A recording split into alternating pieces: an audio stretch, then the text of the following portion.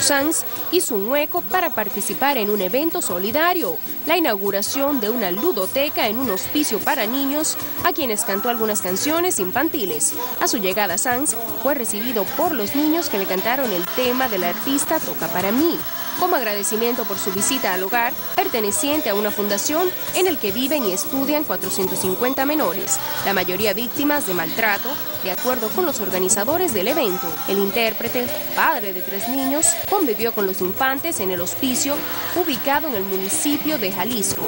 Sanz se encuentra en México en medio de una gira de conciertos en la que pasará por casi una decena de ciudades.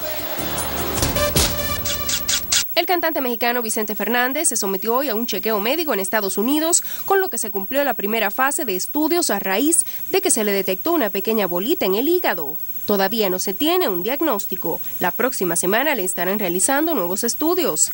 Precisó que cuando se cuente con los resultados, estos se informarán para su difusión en los medios de comunicación. La compañía señaló en un comunicado que Fernández trabajará este fin de semana de acuerdo con lo programado, con presentaciones el viernes 26 en Houston, el sábado 27 en San Antonio y el domingo en Dallas. Sin embargo, agregó, los conciertos programados para los días 2 y 3 de noviembre serán cancelados debido a los estudios programados para la próxima semana y el reembolso se efectuará a partir del jueves 25 de octubre. El comunicado señaló que Fernández se encuentra en Houston, Texas, acompañado por toda su familia.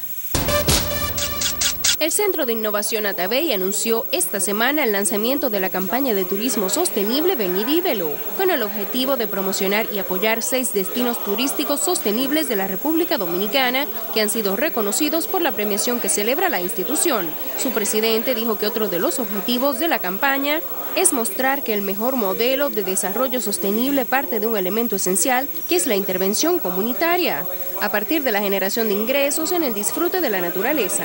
La campaña va en dirección de promover y apoyar algunos destinos que fueron ganadores del Premio Atabey 2009 al 2012. En los espectáculos, Violeta Ramírez, Noticias, Telemicro. Continuando con las informaciones ya a nivel local y fuera de lo que es el arte y el espectáculo, el administrador de bienes nacionales, el señor Elis Wessing Chávez, sorprendió al país al poner su cargo a disposición del presidente Danilo Medina tras denunciar que existe una persecución en su contra o en contra de su gestión. Crisley Durán tiene el reporte que ahí hay un interés. Dos auditorías realizadas por la Cámara de Cuentas revelan supuestas irregularidades en la administración de bienes nacionales, pero los resultados de estas experticias son cuestionados por el administrador del organismo, Elías Huesin Chávez, quien advierte que hay una persecución para